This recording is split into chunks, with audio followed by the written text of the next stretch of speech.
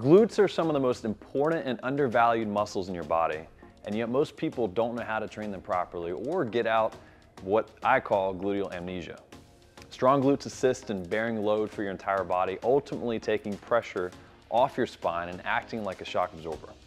Some research has shown that if you have well-strengthened glutes, you could be eight times less likely to have future back pain. And let's be honest, polls have also shown that a well taken care of rump roast is one of the top features of attraction in both men and women of the opposite sex.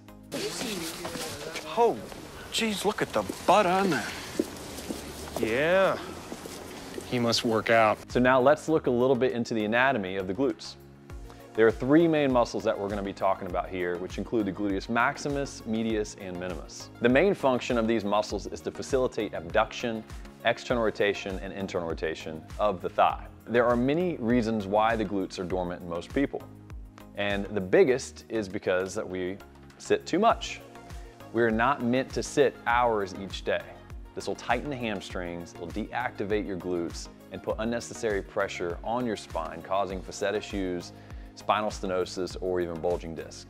The next is that even when we are standing, rarely do we do deep squat or lunge uh, in our daily activity. The glutes are the most activated in a deep lunge or squatting position, yet the catch-22 of this is that most people don't do these movement patterns because they have weak glutes. Imagine that. The next is that even the people exercising regularly are doing the wrong workouts. Long distance running or biking are two of the worst exercises for your glutes. If you're not doing sprints on incline, then you're more than likely not getting them activated.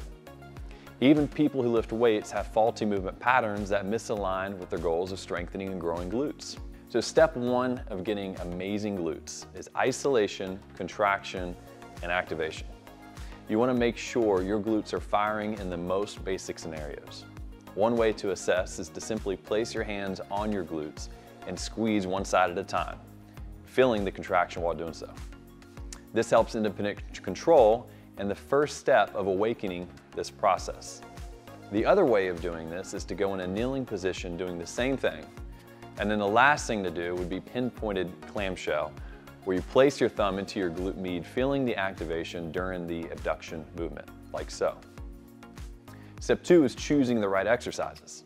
So research has clearly shown over the years that the hip bridge is the most superior of any glute activation exercise. The most common is lying on the ground and lifting your hips up as high as they'll go, but to do the right way, there's several things to keep in mind. You wanna make sure your knees are at 90 degrees so that your hamstrings and quads aren't doing all of the work. Next, you wanna drive your heels down into the ground while simultaneously pushing your feet away from your body. Then you wanna focus on the contraction at the top by holding for at least three seconds. Most people think that the higher up that they extend, the more work they're doing on the glutes, but they're absolutely wrong. Glutes are only active up to 10 degrees past midline, so anything further is just starting lower back and ultimately making your glutes less engaged. The next exercise to throw in is lunge variations. Now, certain types of lunges target the quads over the glutes, so choose wisely. Deep curtsy reverse lunges are by far the best variation you can do if you had to choose one type of lunge. The cross-sectional movement allows all three gluteal muscles to become engaged. And of course, the deeper you go, the better.